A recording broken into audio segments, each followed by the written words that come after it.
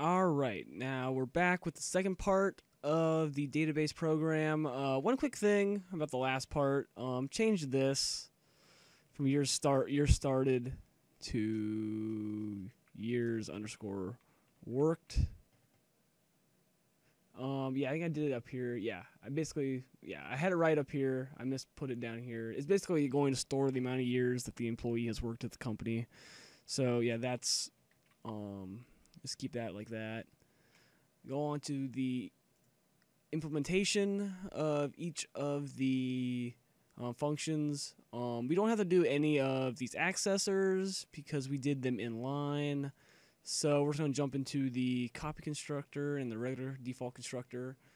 Start off with, well, first of all, just, we need to include IO stream because we're going to be doing input output with C out and C in or get line also. And also we need to pound include the interface interface file. So employee.h. So this gives us access to all of the database or all the employee functions in that class. Also, just for simplicity, because we're going to be doing a lot more, we're just going to do using namespace standard.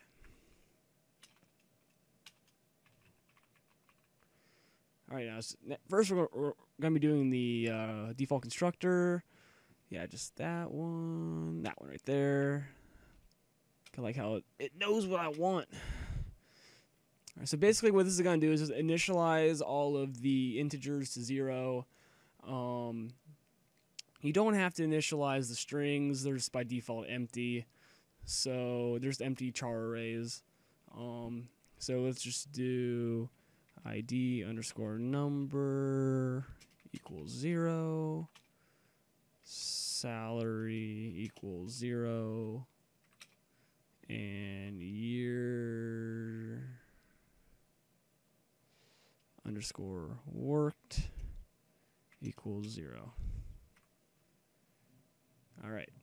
So now next, we're going to be doing the copy constructor. Doing the same thing as before. So that one. All right, I'm just going to go ahead and just copy and paste all the stuff. There's a lot of stuff there. There we go. Copy and paste.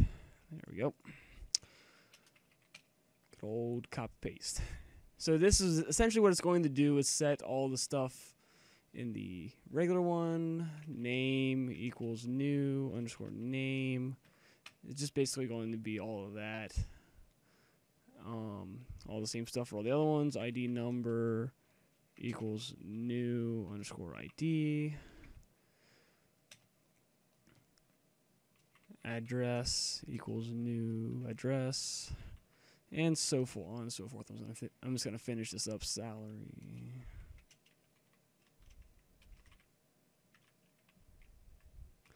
New salary. And last one. Years underscore worked equals year underscore worked. All right, so that should be it for this. It's actually years, not year. Don't want to screw that up. That would cause you some problems down the road. Um, next, we're going to be doing the output. Void employee output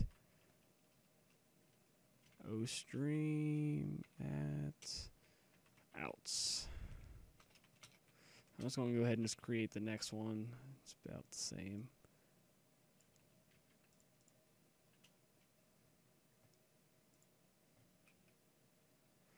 Input instead of output.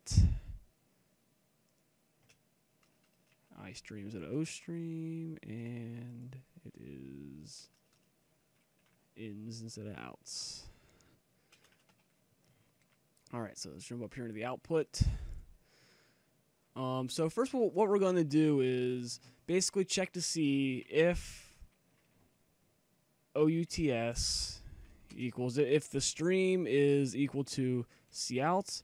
We're going to handle it different from what from uh, if it's um, cin.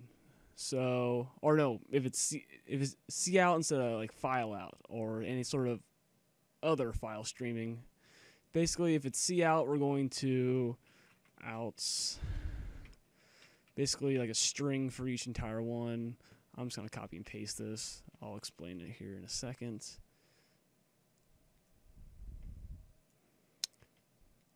Cut some copy and pasting here. There we go. Um,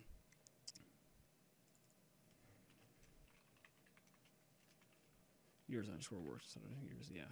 All right. So yeah, that's basically what it's going to do. Um, if it's cout, it's just going to um, just have this little text, their name, and then the name, ID number, ID number, address, address, salary, salary, years worked at company, years worked. So then else, however, um, if it's file streaming, it's just going to be essentially the same thing, except it's going to not have the simple text. It's just going to be like that.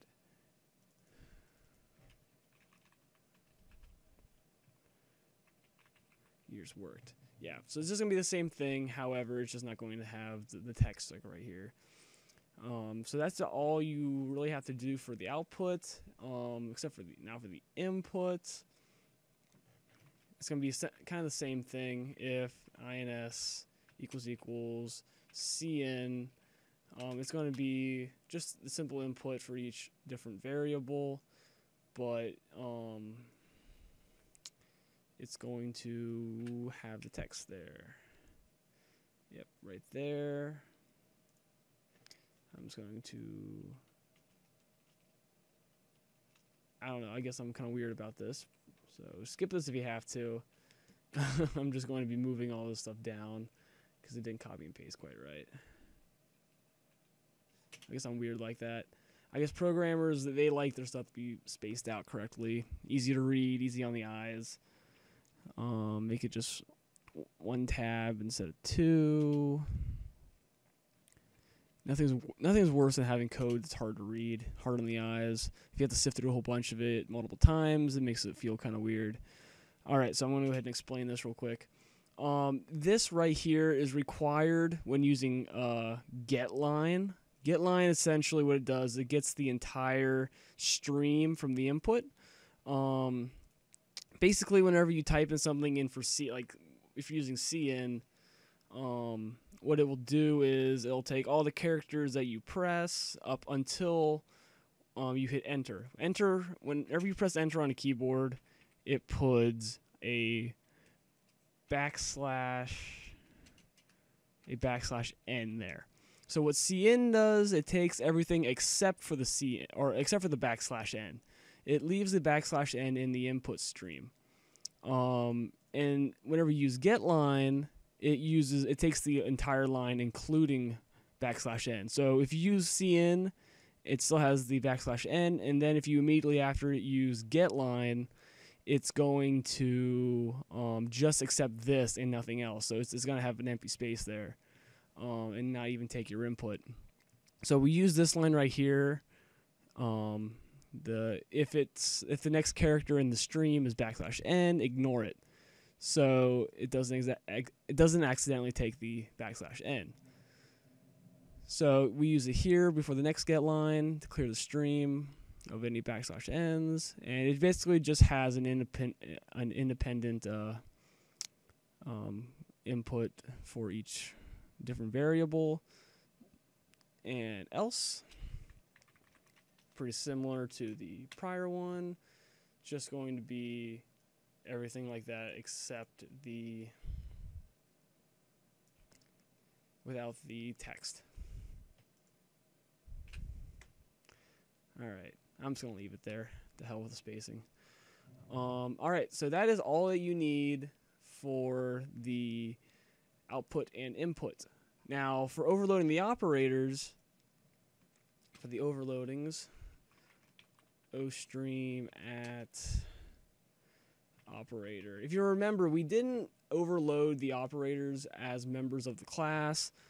Um, so we do we do not have the uh, um, employee in scope resolution right here. We just have the regular declaration, essentially just exactly the same as what it was in the uh, in the um, prototyping or declaration.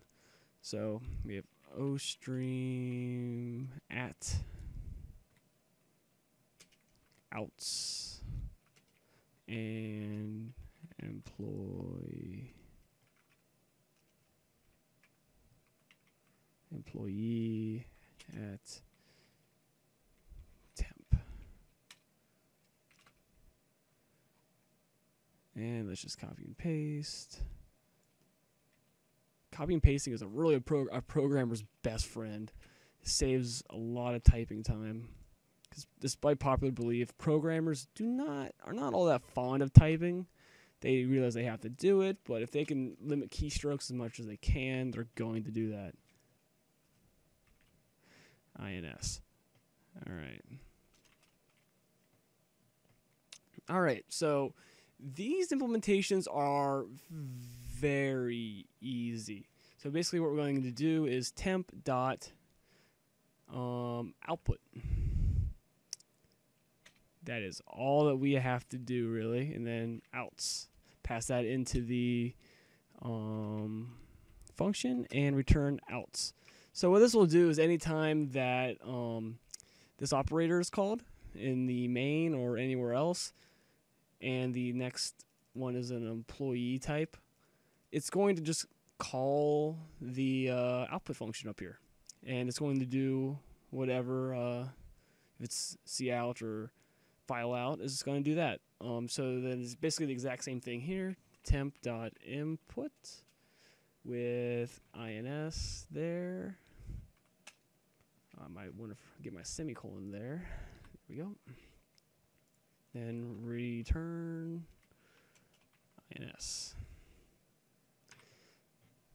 So yeah, and this will actually work daisy chained together. So if you would have like cout EMP1, EMP2, and EMP3. Yeah, so it'll work daisy chained together like that. E- um, you don't have to do them all separately. They can be done like that, which is nice. So, yeah, that is actually all of the implementation that is required for the employee class. So I'm going to go ahead and finish the video there. And in the next video, we're going to take up the database um, class. What all is required for that? That is a little more bulky and a little more time consuming. Hopefully I can kind of keep that short. Um, and that's about it.